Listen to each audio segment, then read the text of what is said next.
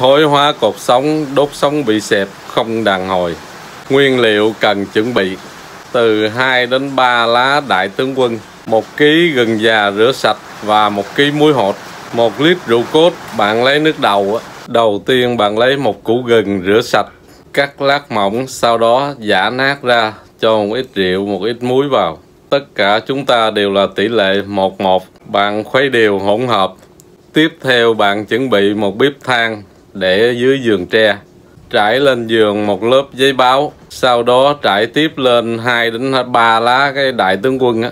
Ếch dung dịch vừa pha lên lá đại tướng quân và sau đó bạn cởi áo ra nằm lên chỗ vùng đau.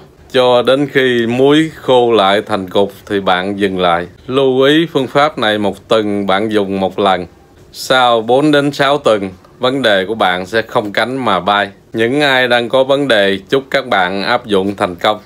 Ai chưa gặp vấn đề như trên, bạn hãy lưu lại video này vì có lúc sẽ cần dùng đến. Và đừng quên chia sẻ video này để tăng công đức bạn nhé.